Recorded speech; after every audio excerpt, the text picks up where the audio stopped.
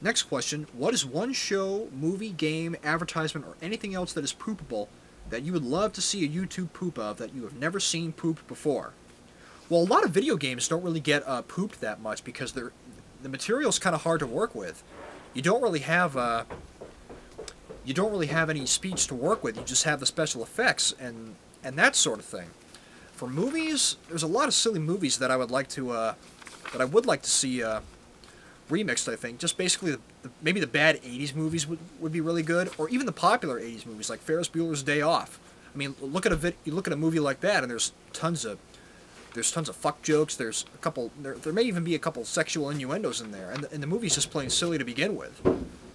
As for advertisements, oh, God, I did see this commercial on TV that I can't remember. That I would love to see somebody remix. I see commercials all the time, and I'm and I'm, I'm I watch them so often, and I'm just pooping them in my head. Think, thinking, what would that look like if it was remixed? If I remember something, I'll let you guys know, but I can't think of it at the moment. If they made a YouTube poop movie, out of all the characters from the vast history of YouTube poop, which would you want to be the main character of the film? And also, which YouTube poop character would you want as the main villain of the film? That question is from Trivia Tim 101 blog. Let's see, what would I do? What, who would be the main character? Well, I don't think there would be any one main character. I think what would happen is. I think what would happen is. The whole movie would have different stories, all based around that character. Like there'd be a story for Link, there'd be a story for Mario, there'd be a story for Zelda, perhaps. There could be a story for Billy, there could be a story for Michael Rosen. It's kind of like uh, the main villain could be uh, could probably be Bowser, or uh, or Ganon from either of the CDI games. We could have two villains right there. It will probably play out like uh, Final Fantasy VI does, where each character has their own story that can that contributes to the story as a whole. So that game doesn't focus on one character primarily. It focuses on all the characters in their own time when they're in the spotlight. That's how I would see it. You know, all the characters are in there, but no one YTP character is the main character. They all have their own story that somehow has to come together and make a big YTP explosion. And the immediate villains I think of are Bowser and Ganon from CDI. If you guys think of a if you guys think of a better villain, shout it out in the comment box. I think it's worth it's worth talking about.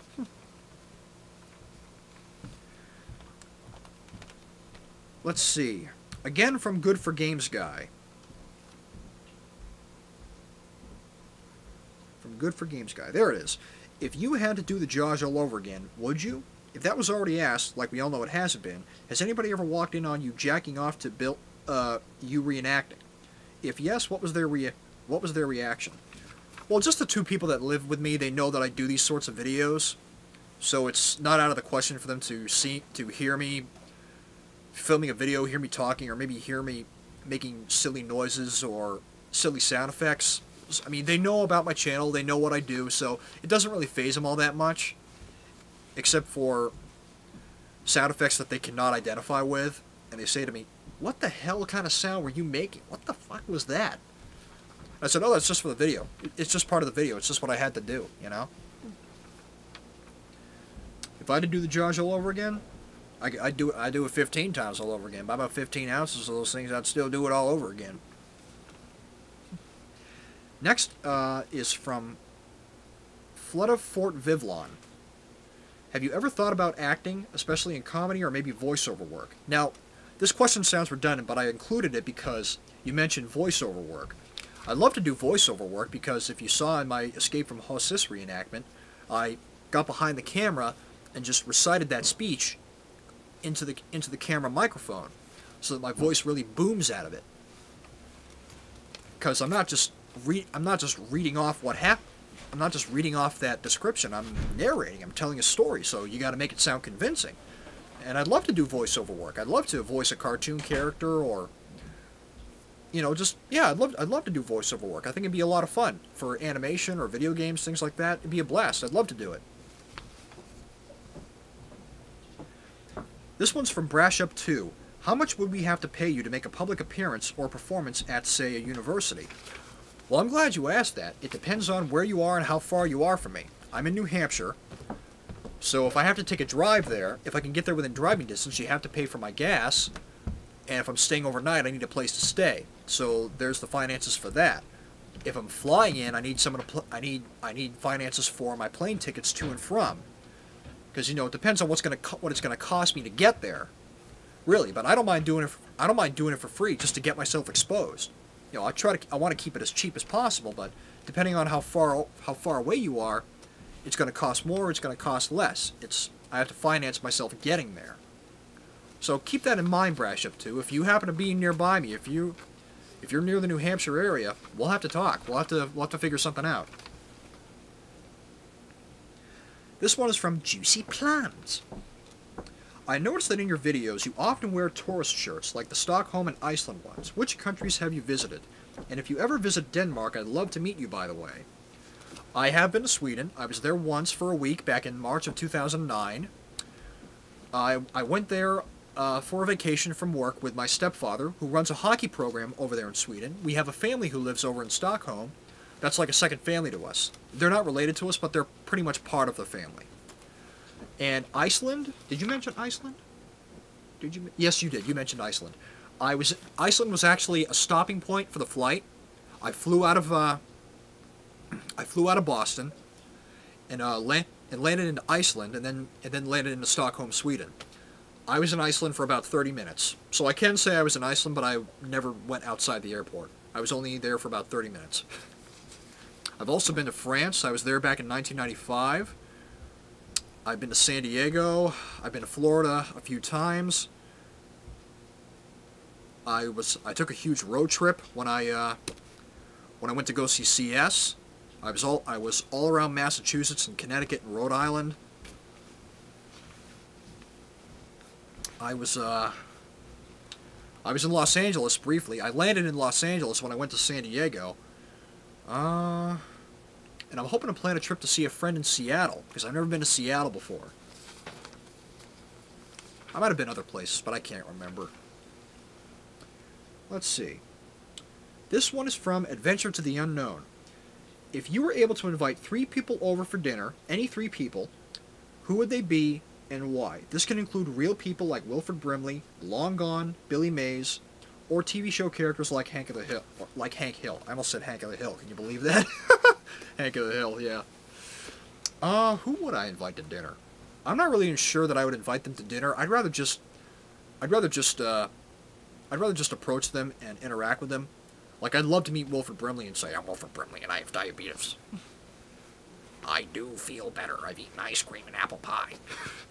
I'd love to meet Wilford Brimley and just say that to him. Say, I do feel better. Starting to feel better now, now that I'm shooting this video. And I would have loved to have met Billy and just start screaming in his face like, Hi! Hi, Radical Faith 360 here! the Big City Slider Station! That's right! I wouldn't really invite him to dinner, but I would like to interact with him and talk to him and shoot the shit, things like that. This one is from Punisher106. The user Dial F for Flippant is another reenactor. Do you consider him a threat, or would you co-reenact with him? I don't consider him a threat in the slightest. I'm not really worried about him. He does his own thing. He can, he can have that if he likes. I don't really watch his videos.